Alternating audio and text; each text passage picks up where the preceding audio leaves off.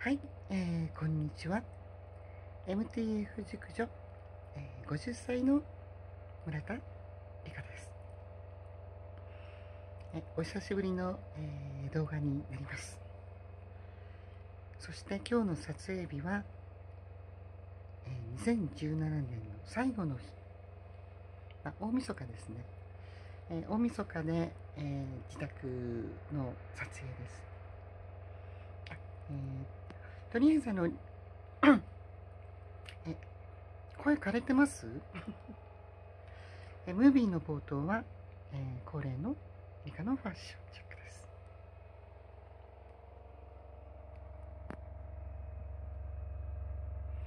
はい、えー、お部屋の中にもかかわらず相変わらずヒールを履いてるという、えー、前にも登場してます。えー、冬用のプリーツですね。もともとあのマイクロミニ丈ですけれどもあの中にあのパンツがついてたやつですけれどもちょん切っちゃいました、えー、そしてあのまあライダースノースリーですね。あ、えー、ちなみにですねせっかくですから、えー、普段こういう、えー、撮影の背景になります。はい裸電球です。えこれ1個が、えー、撮影の照明ですね、まあこんな感じで。はいあっち側の玄関ですね。ここら辺一帯はの、えー、服ばっかりです。これも服ばっかりです。といった感じで、えー、撮っております。えっととりあえずですね実はの12月の17日の深夜未明、え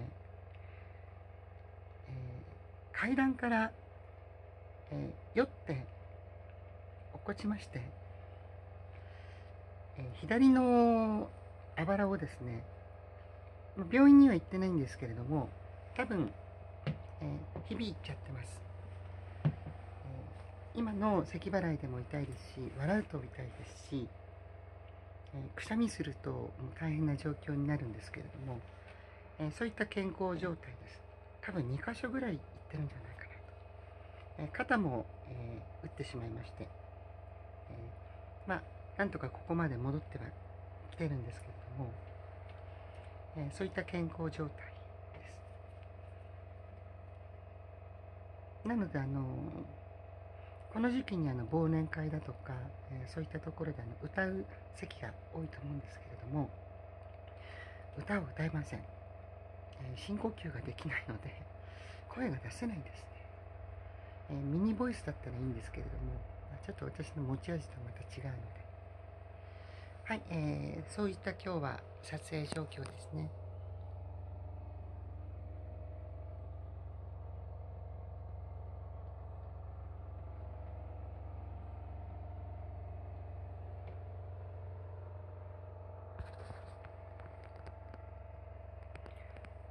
もしかしたら本邦初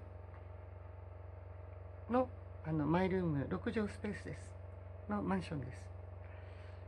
えー、何年か前にもあの映してるかと思うんですけれども多分違いはですね、えー、結構あの棚とかをちょっと買ったりとかあとこのソファーベッドですね、えー、前にあったソファーベッドから横置きソファーベッドに変えました、えー、という状況ですので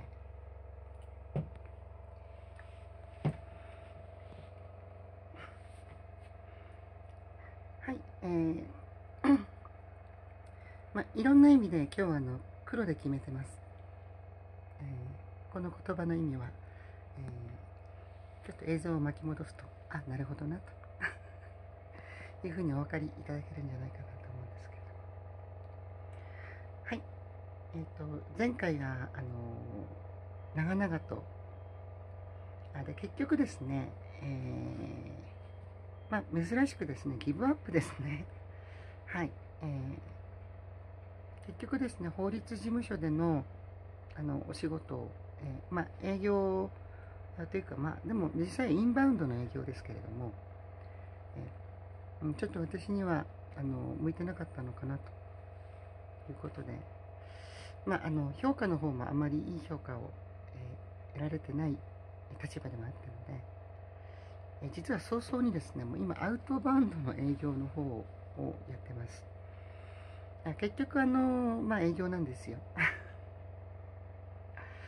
ただですね、え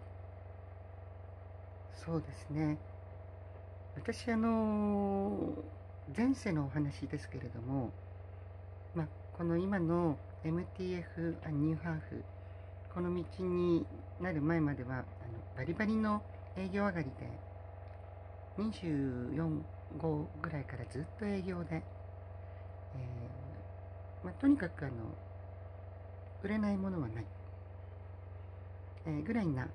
まあ、自信もありますし、えー、技術もあります、え、スキルノウハウも持ってまあそれが、えー、こう、うん、そうそうを講じて？こうをこう？うん？まあいいや。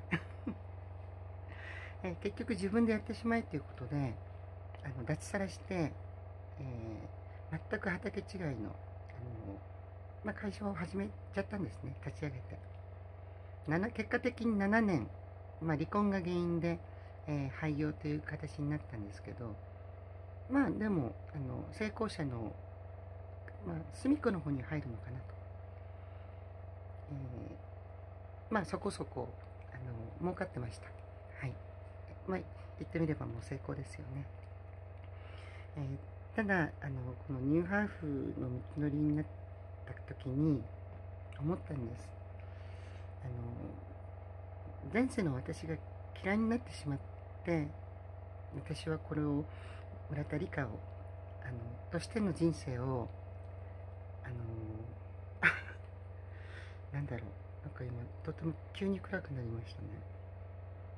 ここにいいのか。近づけばいいのか。え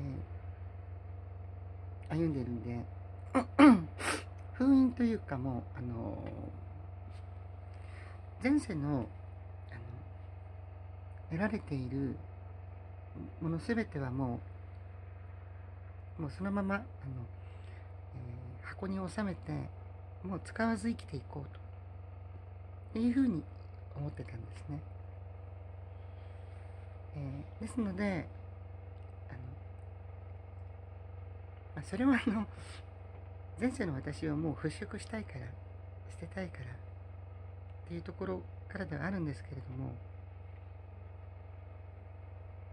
まあでも50歳という今としてもうそろそろもうじき51になりますけれども、えー、それなりのやっぱりあの一般のあのお仕事で、えー、生活をしていくためには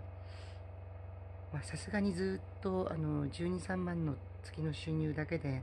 やっていくっていうのは本当にしんどいところですので、もう少しやっぱりあの収入を得るお仕事に、えー、移行しなきゃいけないなそうなった時に、えー、まあ、殿下の宝刀を抜き出すわけじゃないんですけれども、えー、本当はその封印は解きたくなかったんですけれどもあの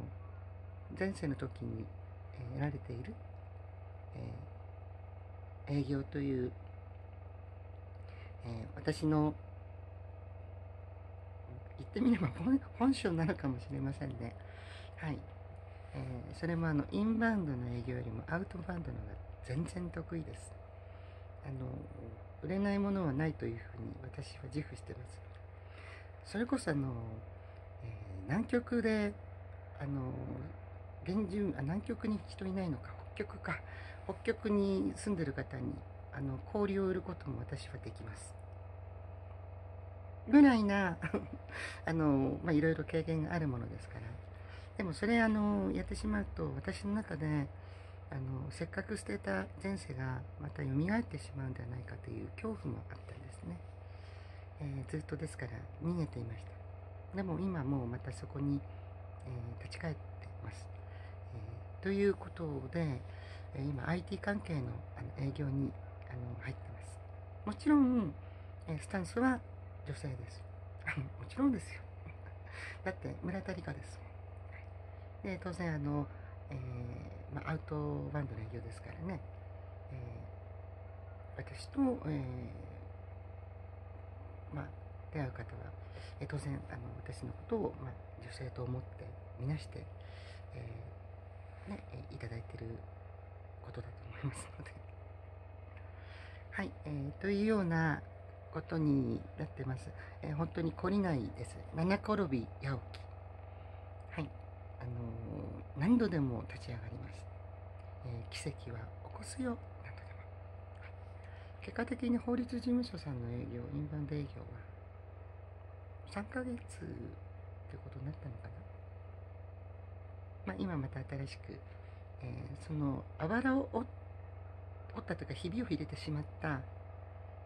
翌日から働いてますここら辺があのやっぱりあのねボロボロになってももう平然とした顔であの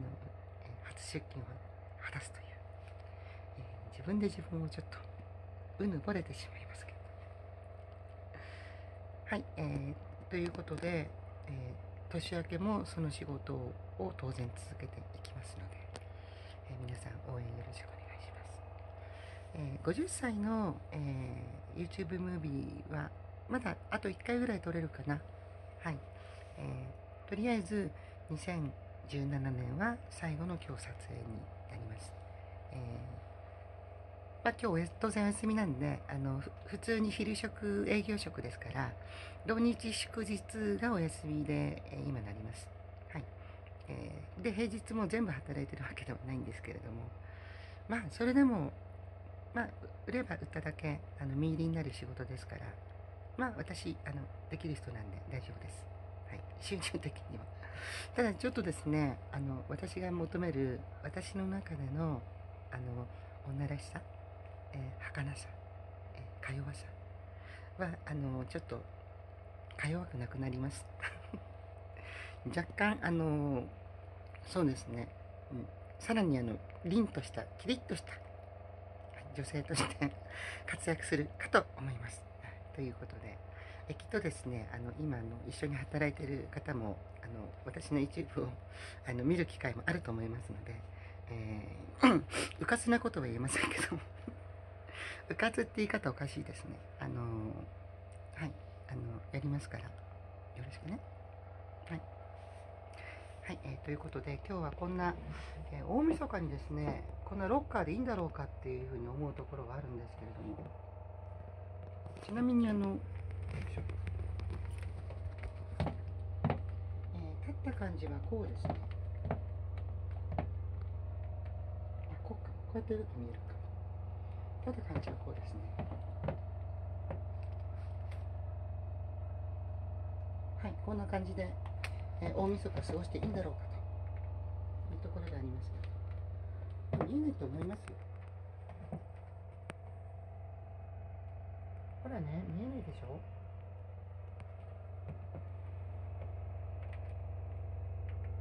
あちょうど隠れますね。いい感じ